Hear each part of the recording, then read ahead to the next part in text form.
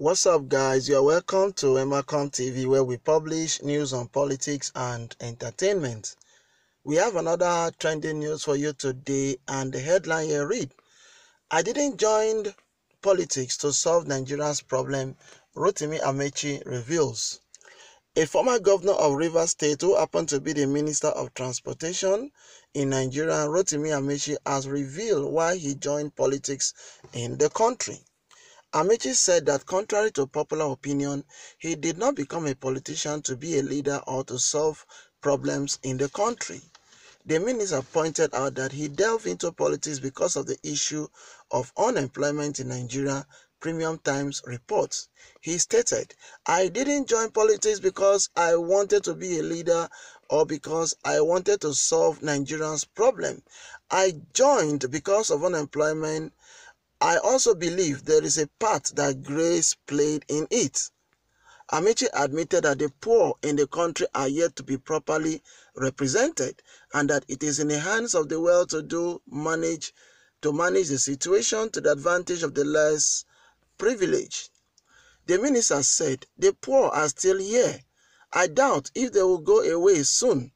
What happens is the elite, whether the capitalists or socialists, must manage them in such a way that they can be provided for.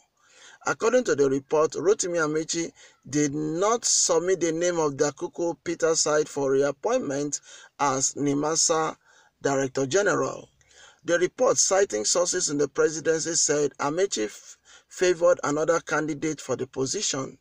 The sources said the presidency, however, rejected Amaechi's choice and decided to pick Bashir Jamoh as a new executive director of the agency. Jamoh was reportedly appointed by President Muhammadu Buhari to replace Peter Side after the expiration of his four years in office. All right, uh, this is Rotimi Amaechi, is a Minister of Transportation in the present dispensation of Buhari's government. He has made a startling revelation. You get that he did not join politics to solve Nigeria's problem upon the fact that as at when he joined, he knew Nigeria had a problem, but he said he never joined to solve the country's problem, neither did he join to become a leader. You get? So, looking at it, looking back now, he has become something. He is now one of the top cabinet member in Buhari's government. You get at least if you mention five persons or even three, if you mention the first three cabinet in Buhari's government, Rotimi Amaechi is amongst them. But look at what he is saying uh, right now. And you guess what? What he has just said now, you understand me, makes me to remember what he said in a prelude to the 2019 election where Reno Omokri actually leaked uh, Rotimi Amaechi's secret audio you get there were secret recording that were actually uh, recorded of Amaechi making some serious uh, statements. You get, and in one of the audio, he said that this country can never be repaired. That the only way for this country, the only solution to this country, is for everybody to die, and then a new country emerge out of that. That is what Rotimi Amaechi was caught saying last year. You get me? So you can see here that this is a normal psyche. It's a normal psyche of all will be politicians and the current politicians today who are in the country. They are not here to, to serve anybody. You get they are not here to they are not here for you. It's just like the police is not here to protect you. The police are there to protect the politicians and to protect federal government assets. That is it is not for the civilian. You get me? And so also too, you see that even Dino Melaye, Dino Melaye, who was a former senator, you understand, made a, a, a, a outstanding statement. He made a startling statement. And what did he say? Dino Melaye said just last month, he said that he, he himself has failed Nigerians as politicians. He said him together with all politicians in the country, have failed Nigeria. That is what Dino Melaye said. You can Google it out. He said he has failed Nigerians. Now, that is a politician saying, Rotimi Amaechi is a politician. You get? Look at what he said. And that is why you see corruption, looting everywhere. You you hardly see a governor that is not corrupt. You hardly there is none. All of them who go into into politics are there to steal. You get no matter how holy you are, and once you step in there, you become a devil. So and also to I want to add this. Tunde Bakare, a lot of you know him. Tunde Bakare says that if Buhari want to start his corruption fight, he should start from the church. He should get him arrested with all the general overseers, that they are all corrupt. That's what he said. He did not exempt himself. You get me? He did not exempt himself, but he included himself. Now, we have gotten three case studies now. Rotimi Amaechi said he didn't go into politics to solve Nigeria's problem. You get? And then Dino Melaye said that they have failed him. Together with all politicians have failed Nigerians. And then Tunde Bakare, you understand me, in 2015 said that if Buhari should start his corruption fight, start with the church and he should arrest him first and then arrest every other person that they are all corrupt. Now, why will he say that? Everybody look up to the church, you understand me, for reprieve, for consolation, for solution. The church is supposed to have a solution, but what do we see in the church? We see the highest form of extortion ever. We see the highest form of extortion. And even this lockdown, even this coronavirus have have exposed a lot of our pastors. Do you know that even okay, I don't even need to ask you whether even now you know.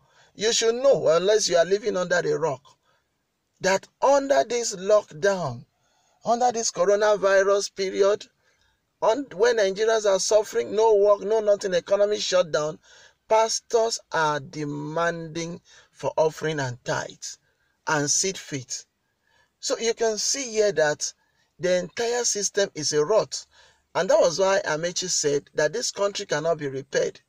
I guess maybe he, he took it he went too far anyway when he made that statement that everybody should die, that the best thing is for everybody should die, and then this country should start again with a new, fresh set of people.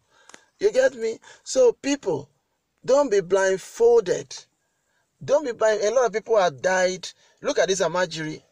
These Almajiri are the people used during election. They used them during election, but today they've abandoned them. They've abandoned them. Those people are running toward the south here because they, they think there's a safe haven here.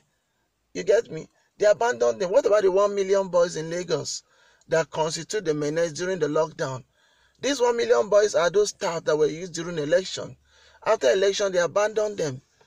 Now these boys are hungry. They began to vent their anger on the population, on the people, because these people have abandoned. So you see here that they, they, they, they, where we are going to, we are heading toward the deep abyss. I mean, this country. And you guess what? God Himself does not see this Nigeria as a country. He doesn't see it as a country. God deals with people personally, on personal basis in this country. He doesn't deal with it as a soul, as a country, because of what as is happening in this country. Remember just few months ago, the leader of North Korea, Kim Jong-un, said that if given an opportunity again that he will recolonize Nigeria and Africa again, that it appears we've not learned anything from our colonization. So guys, you see here that is a problem. It appears as if our own mumu, our mumu is factory fitted. It's as if now is CARICOM. No, serious. It appears it is is CARICOM because we when you show people, you tell them the truth. Look at our ministers, so-called gospel ministers. Most of them, 20 years back, 30 years back, they were as poor as church rats. But today, they have private aircrafts. Their children school in the best school in the, in the world. They themselves drive the most flamboyant and exotic cars, have private jets, and then the poor around them. None of them cares about the poor again.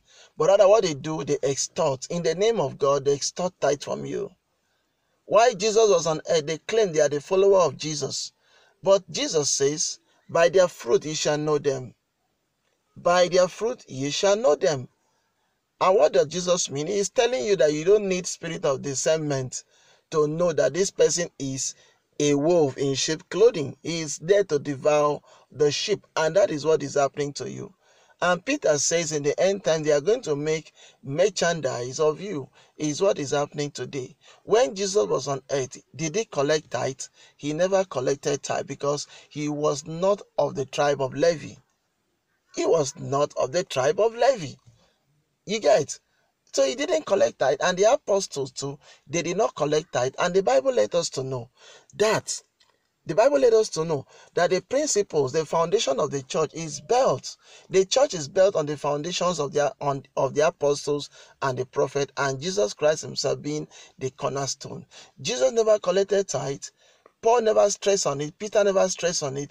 The entire apostle never stressed on tithe. But do you know what they stressed on? They stressed on cheerful giving, a giving that comes from the heart. The Bible says God loves a cheerful giver. So you can see why Tunde Bakare said that all this of these ministers they are all criminals, they are corrupt, and they should be arrested and sent to Kirikiri prison, they all know Jesus says that they stand on the way of the kingdom of God. They themselves will not go in, but they stand on the way to block others from going in. A word is enough for the wise guys. Our leaders, so called, don't have solution for us. Cry unto God. Look inward. You have something. You have what it takes to succeed. Pray to God to tell you who you are and to help you. Jesus said, when you want to pray, pray to your Father these people have no solution for you. Pray to your Father. Don't look up to any of these our leaders to call our church, even in the religious circle. None of them, what they are only grooming is just religion. They don't have spirituality. Go and pursue after spirituality. It is what Jesus says. Jesus says, Blessed are you who hunger and thirst after righteousness. You shall be filled. That is spirituality, righteousness. Look after that. Drop religiosity. Drop all of those things. It doesn't help you. May God help us. I just pray God open your eyes to see the truth of what I have just said. I'm not attacking anybody, but I'm just telling you the truth how it is. Thank you very much. God bless you.